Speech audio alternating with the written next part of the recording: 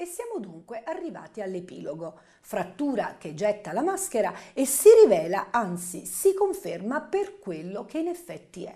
Un uomo d'affari, abile, ma nemmeno tanto, e spregiudicato che non riesce a separare la sua avventura politica dai numerosi interessi finanziari il frattura politico, governatore del Molise, che sostiene il frattura imprenditore, notoriamente in crisi, indebitato con le banche, che non sa più cosa inventarsi, società, prestanomi, sigle, scatole vuote. Frattura che da un lato si colloca all'origine della catena societaria della centrale a biomasse di Campochiaro, dall'altro la autorizza, la ordina, la impone agli alleati della coalizione. La centrale passata di mano in mano senza mai perdere di vista l'obiettivo. Mani familiari, mai estranee. Prima le sue, poi quelle della compagna Antonelli e poi ancora quelle del suo storico braccio destro che è anche capo di gabinetto e segretario di giunta, Mogavero. Infine quelle del marito della Mogavero, di Domenico.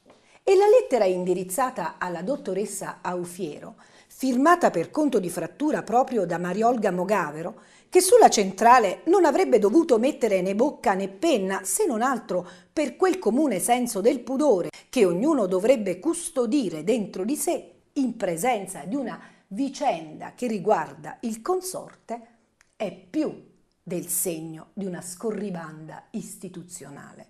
È una metafora atroce che riassume questi anni bizantini, questa atmosfera da regime, questo clima da basso impero in cui pubblico e privato, famiglia e istituzioni, amici e funzionari, soci e dirigenti diventano la stessa cosa. Né più e né meno del frattura proprietario della Biocom che prende i soldi dalla regione e chiede al frattura governatore della regione se quei soldi destinati a un progetto mai realizzato siano da restituire e infatti non li ha restituiti. E il sogno del Molise di tutti si infrange contro le ruspe che si presentano all'alba protette e scortate da uno schieramento di forze dell'ordine degno della Val di Susa, con i manganelli pronti a sedare rivolte e subugli inesistenti, ruspe e scavatori, mattoni e cemento, fuoco e fiamme sulla splendida valle del Matese. Frattura getta la maschera e straccia senza pudore il cambiamento strombazzato e il modello molisano tutto verde, ambiente, turismo, benessere, cultura che aveva promesso con un programma elettorale di inganni e di illusioni. Frattura che con la grazia di una ruspa per restare in tema va per la sua strada incurante del malessere e della disperazione popolare, dimostrando tutta la sua mancanza di stoffa politica.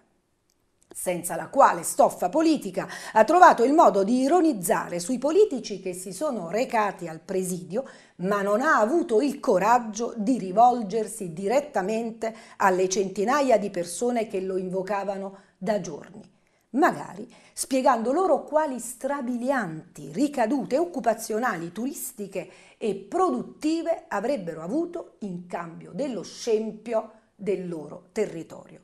E magari spiegando ai medici che hanno sentito invece il dovere di intervenire pubblicamente sui rischi connessi all'attività delle centrali che la salute della popolazione non è esattamente una priorità contemplata dalla brama degli affari. Non esiste un provvedimento, uno solo, che sia di interesse collettivo, nulla di nulla. Frattura voleva essere il presidente di tutti ed è il presidente di nessuno, il presidente del nulla. Forse, nonostante tutti gli sforzi, non è nemmeno il presidente di se stesso.